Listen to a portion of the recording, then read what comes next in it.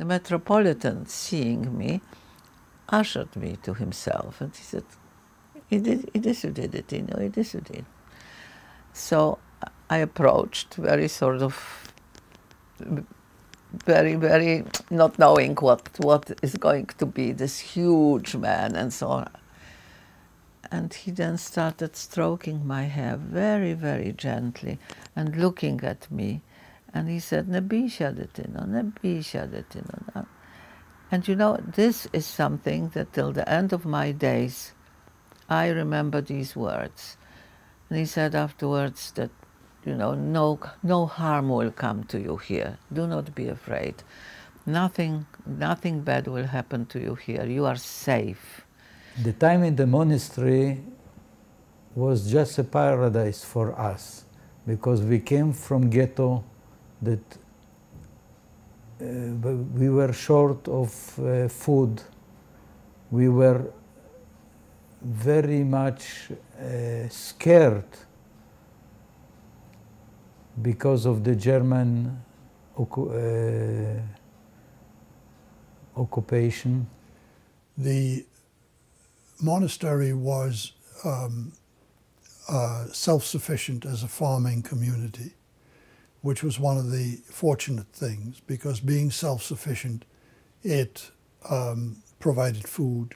And until late in 43, when the Germans took away much of the cattle and much of the equipment, uh, we really did not have problems as far as hunger is concerned.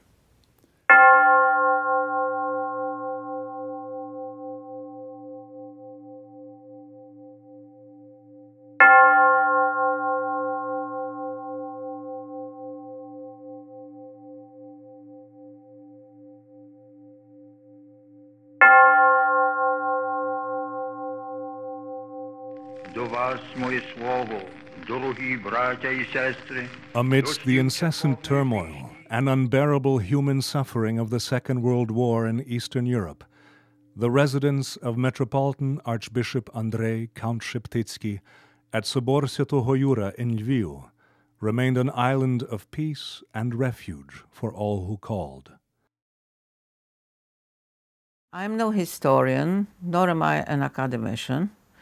But I am a witness to history, at least to some events in it, and I have and I'm speaking to you here today for one and one reason only: to pay respect, reverence, and homage to a great man, His Holiness the Archbishop Metropolitan Andrei Count Sheptytsky. It was the fall of 1942 I don't know whether it was September or October, but it was definitely the fall of 1942. And at the time I lived in a small village known in Polish as Szczerzyc and Ukrainian as Szczerec, where my paternal grandparents lived. And my father had arranged, was lucky enough to be, have arranged to have me hidden in the monastery with, uh, by Metropolitan Sheptytsky. I had several minutes only with Archihegmon Sheptytsky. Uh, I remember my uncle brought me to his uh, palace on the Yasna Gura and uh, he put his hand on my head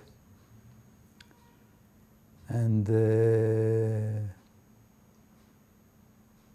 sent me, asked uh, somebody to take me to one of the priests in, uh, who lived in a village to teach me the language the prayers, the behavior of Ukrainians and this was the last time I saw Sheptytsky and I saw my uncle and uh, this is how I was saved. And he spoke to my mother and my mother told him he asked her, questions, obviously, and she said, "Yes, I'm. This is. We are the two of us now left alive, and the rest, my husband, the child of six, uh, who you see on the photograph there, my parents, everybody's been murdered, killed, all sorts, and the entire family, sort of further family, you know. And I'm the only one left with with Lily here." And he said, and and he, listening to her, sort of tears started going down his cheeks. I remember that because I looked at him and he was silent. He just listened, and then tears were going down his cheeks.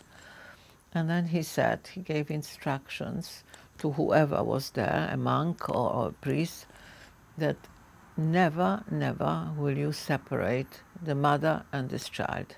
They have to be together. The process of integrating children of various cultures, making Jewish children inconspicuous to the ever searching Gestapo, required discretion and understanding. So I was left in this new world, which I somehow instinctively, I don't remember my own feelings at the time.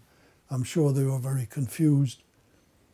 But I instinctively felt that I had to adapt to, and that my life depended on adapting to this new world. I had to, at the age of seven, I spoke German, which was my native language, and Polish, which my nanny taught me. But now I had to learn Ukrainian. I had to learn the rudiments of those prayers that a seven year old would know. Ojcze nasz, Bohorodzice Divo. I had to learn how to read a little bit in Tsarkovnyu so that I could follow the prayers in the prayer book. I had to learn how to cross myself and all of the other things that a seven year old would normally, living in that culture, know so that I could pass. Daniel Timchina was the head of our orphanage, and he was very careful not to show others that we are Jewish. So we are taking baths, either two of us, two of the children, Jewish children, or the third one was bathing with him, not to show our identity. For a seven year old, that's a major thing to accomplish. And I know that every time my children, but particularly my grandchildren, reach the age of seven, I would look at them and I would marvel.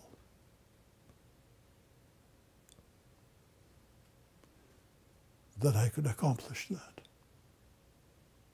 The Metropolitan used his many personal connections and the wide network of his church in support of this integration and concealment process. We were sent to Ubocz, where Matei Humeni was, was the, the, the um, Mother Superior, and she took my mother in to her residence. She, she was separate from the actual convent and the orphanage, a little house separately, but, but within, within two steps from each other. And she took my mother, but she said also, don't be afraid, your mother is here and you are here. You are not going to be separated, which was quite wonderful, quite wonderful. Here are some of the documents that the Gestapo was looking for me.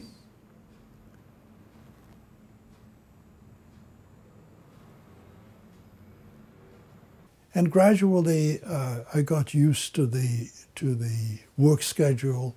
Uh, we went to a school which was uh, run by a schoolmaster. His name was Duke. Unbeknownst to us, there was a another five-year-old child with his mother and aunt hidden in the attic of Duke's house.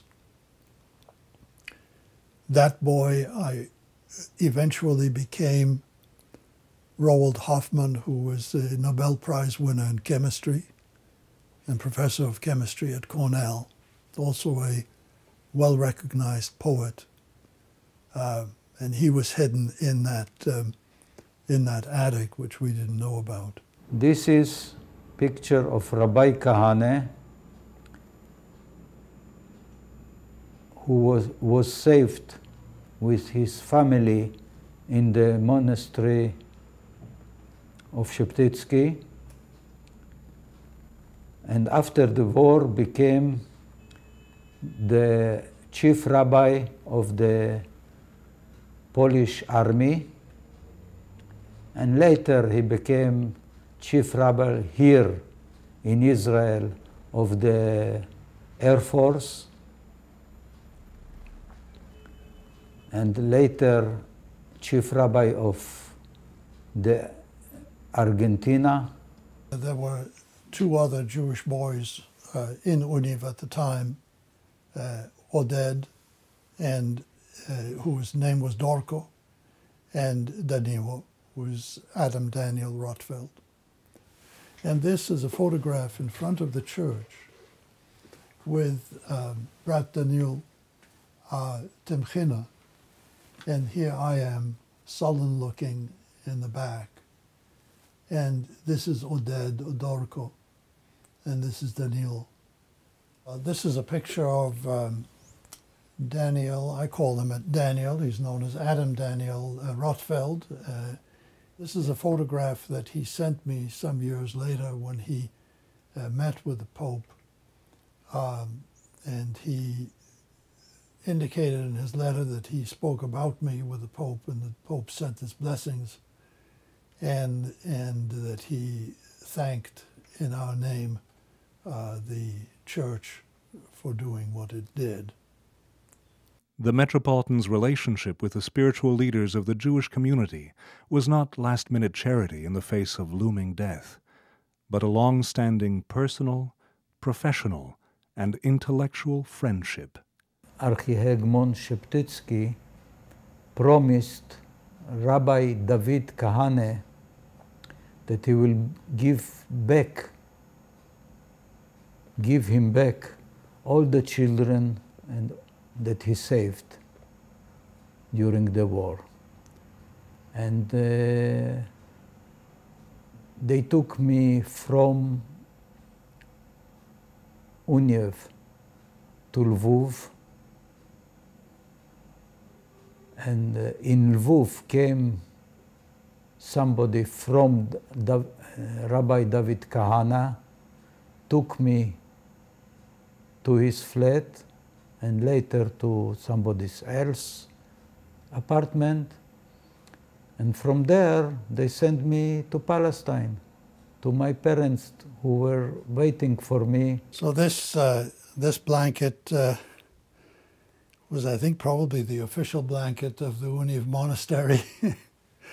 and I covered myself with it throughout the uh, horrible winters of uh, Ukraine and um, used it all through 1942 and 43, part of 44, and then carried it with me from Ukraine to Poland and from Poland to England and from England to the United States, and here we are. and I might add that it was also the blanket we very proudly used when my grandson had his circumcision. Because I am here in Israel, I was the one who put the appeal to Yad Vashem in the names of all the others. I am the representative of all these children who saved, were saved by Sheptytsky. He was exposed. He was a most courageous man. He was, first of all, he, his humanity was such. He was almost a saint, a sanctity about this man. Plus, he, he endangered himself, he endangered he, the entire, um, the entire um, church, if you like, who kept us because it was at his recommendation. So he is the head of it all. And he, in his own, in his own library, he kept a rabbi, Rabbi Dr. Kahane, behind the wall, behind the books. And when they talk about collaboration or cooperation with the Germans, I mean, what sort of a thing is that if the Gestapo visited him sometimes once a week, sometimes once a fortnight, and, and you know, for inspection to see, to they, they looked around. For what? For whom? For the Jews, of course. Today, there are over 2,000 Ukrainians recognized by Yad Vashem, the Holocaust Martyrs and Heroes Remembrance Authority, as righteous among the nations for their personal involvement in sheltering Jews during the Second World War. The title of Righteous Among the Nations has been granted by Yad Vashem to Studite brother Danilo Temchina, Sister Josefa Olena Viter, and to the Metropolitan's brother, Blessed Clementi Sheptytsky. The gentleman Shepetitsky Clement got the honor uh, as righteous uh, in 1995. Yad Vashem should award for saving lives. That is their, that is their premise, that is their emblem. Whosoever saves one life saves the world entire. They should not be political. They, sh- they, they should be like they were to begin with a humanitarian organization. They award those wonderful, amazing, courageous heroes of the war, to me, heroes of the war, who didn't fight with weapons, they fought with their hearts. I hope that the people in Jerusalem, in Yad Vashem, will come sooner or to the conclusion, to the decision to give him the honor that he deserves very much. An Italian journalist was doing an interview with him, with the Judge Bejski, and at one given moment he asked him a question, something like, Is there anything you regret in your life? Or, you know, like you, what is the, the nicest thing you remember? What is it? And he said, Yes, I believe I made a mistake in the Sheptytsky case. And I have that, I have it among all the papers. That's what he said. I believe I made a mistake in the Sheptytsky case. And he died a few months later. So, so chances are that Yad Vashem maybe doesn't want to admit a mistake. Who knows? But that's what he said, and that's in writing. This I have the name of the journalist, everything. Interesting, isn't it? Until now, I don't have the uh, response on my request. They delay the decision more and more because they look for another reasons. Metropolitan Sheptytsky is the only head of church, only one who during that time, during the darkest hours in history, had the courage to oppose the regime, to oppose the, the, the fact, I mean, who was writing letters to Himmler and to Hitler and to Wächter? Who? But he, no other head of state. And that includes the Pope very much so. The letters were not answered. The Pope never answered the plea which, which uh, Metropolitan sent to him in his second letter, telling him what is happening, murder, so please help, nothing, not an answer, nothing. And no other head of state did what he did. He actually was, had the courage to, to, to write, to do pastoral letters. I mean, he couldn't stand there and talk, but he wrote and he, he his pastoral letters to and asked his people not to not to be not to be involved in murders and asked Himmler not to involve his people in, in, his, in these murders. I mean, who else did that? Nobody. No other head of state, of, um, of church. No other head of church. I owe my life to him.